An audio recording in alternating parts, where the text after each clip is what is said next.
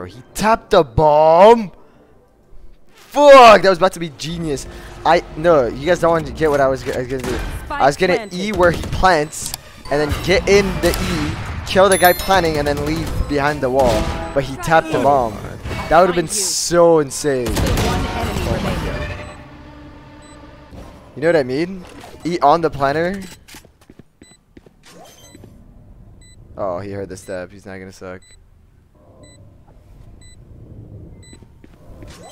That means he's long flanking. If oh, you're so. Oh, Okay, my where was I? god. Jeez, Louise!